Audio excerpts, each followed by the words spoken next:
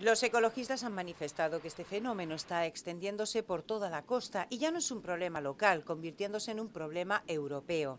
Asimismo, señalan que pensaban que las administraciones estatal y andaluza iban a tramitar proyectos para la erradicación del alga financiados por la Unión Europea ante esta bioinvasión del alga asiática. Pero todo ha caído en saco roto.